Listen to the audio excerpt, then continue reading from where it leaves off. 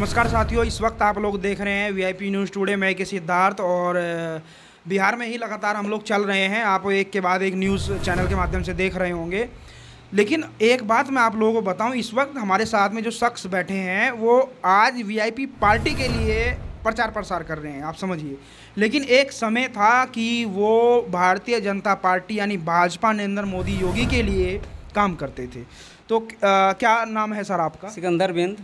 कहाँ के रहने वाले हैं? गोपालगंज बैकुंठपुर विधानसभा के प्यारेपुर पंचायत के रहने वाले हैं अभी अभी कहाँ पे मौजूद हैं आप? अभी हम बोचाहा में आए हैं चुनाव प्रचार में तो कैसा लग रहा है आपको यहाँ प्रचार प्रचार? अच्छा लग रहा है बहुत स्थिति अच्छा क्या है। क्या स्थिति है? आप बाहर मतलब क्या लग रहा है देख के? लोग मुकेश सहनी का ही नाम ले रहे हैं यहाँ उनका ही काफ़ी वोट है जीत जीत रहे हैं? जीत रहे हैं। भाजपा?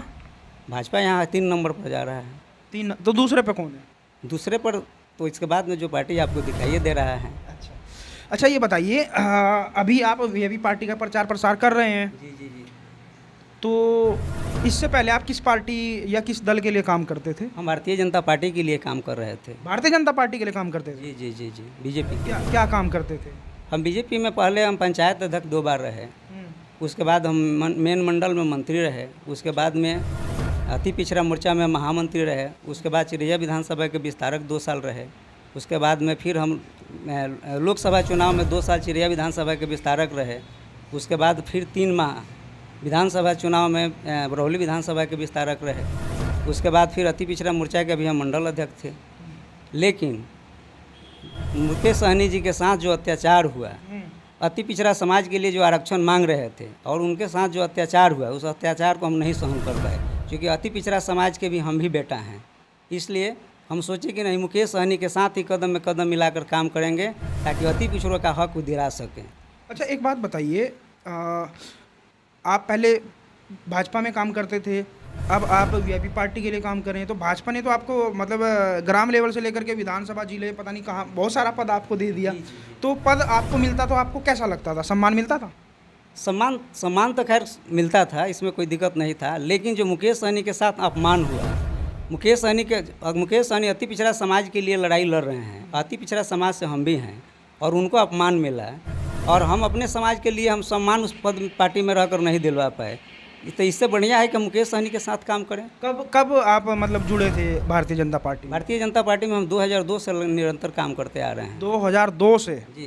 तो वीआईपी पार्टी तो 2018 में बनी है तो वीआईपी पार्टी में आप कब जुड़े? हम अभी हाल फ़िलहाल में अभी इस चुनाव के बाद हम आकर जुड़े हैं। यानी अभी 22 चल रहा है 2002 यानी 20 साल आप लगभग भाजपा में काम कर चुके हैं। तो 20 साल में एक सनोख मल्ला अति पिछड़े का जो बेटा है उसके साथ जब अपमान हुआ तब आपका जमीर जागा। 20 साल में भाजपा ने बहुत सारे लोगों के साथ अन्याय किया तब आप कहाँ थे? तब आपने भाजपा क्यों नहीं छोड़ा? हम लोगों के हक का अधिकार मांगने वाला कोई नेता नहीं था। हम लोग को इस इस चीज़ से हम लोगों को ये नहीं लग रहा था कि भाई ये चीज़ हम लोगों को मिलना चाहिए। जैसे मुकेश सहनी जी इस चीज़ को आकर मांगे तो हम लोगों का आँख खुल गया कि भाई हम लोगों के समाज के लिए भी इस तरह का अधिकार मिलना चाहिए, ताकि हमारे समाज के बच्चे आने वाले समय में बड़े बड़े पोस्ट पर जाएँ, उनका गरीबी दूर हो। हम चार से पाँच हज़ार रुपये हम लोग कमाने वाले लोग हैं, मछली मार के खाने वाले लोग हैं और हम ही पूरे अति पिछड़ा समाज के लोग अनेकों काम करते हैं और वो अपना भरण पोषण नहीं कर पाते हैं। और इस चीज़ को मांगने के लिए प्रयास किए तो उनके साथ धोखा हुआ तो हम सोचे कि नहीं भाई, ऐसे व्यक्ति के साथ मदद करके इनके साथ काम करना चाहिए ताकि अति पिछड़ा का हक हुकूमत मिल सके। नहीं, मंत्री जी तो कहते हैं कि लालू प्रसाद यादव हमारे आदर्श हैं और नीतीश कुमार के साथ भी उन्होंने जो है सरकार चलाई है मंत्री रहे हैं उनकी सरकार में। जीतन राम मांझी भी बिहार में जो है मुख्यमंत्री बने हैं। तो बहुत सारे लोग हैं जो अति पिछड़े या पिछड़े समाज में पैदा हुए आप उनके साथ भी जा सकते थे लेकिन क्यों? नहीं नहीं मुकेश सहनी जी अति पिछड़ा समाज के लिए जो काम कर रहे हैं जो मांग रहे हैं इस प्रकार का उन लोगों के पास कोई माने जनाधार नहीं है वो लोग ना काम करते हैं। इसलिए हम इस पार्टी में आ गए। हम इनके साथ काम करेंगे ताकि अति पिछड़ों का हक ही दिला सके।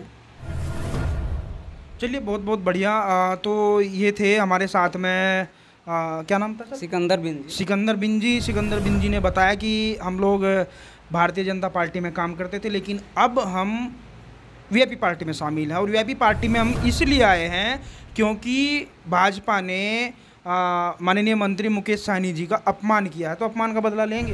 बिल्कुल लेंगे। कैसे लेंगे? लेंगे हम अपने पूरा प्रचार प्रसार करेंगे। अति पिछड़ा समाज के लोगों को जगाएँगे और सारे लोग मुकेश सहनी के साथ कदम में कदम मिलाकर काम करेंगे। और बिहार में सरकार बनाएँगे आने वाले कल तक आप भाजपा को जिता रहे थे 20 साल अब आप वीआईपी पार्टी को कैसे जिताएँगे? हम जिताएँगे हम अपने लोगों के पास जाएँगे और इस चीज़ को हम अपने लोगों से बताएँगे कि हम लोगों के नेता मुकेश सहनी जी हैं जो हम लोगों के हक हुकूमत के लिए लड़ाई लड़ रहे हैं अपनी सारी सुख सुविधाओं को छोड़कर सबको लात मार कर और हम लोगों के लिए काम कर रहे हैं तो हम लोग भी अपना कदम से कदम मिलाकर उनके साथ काम करेंगे।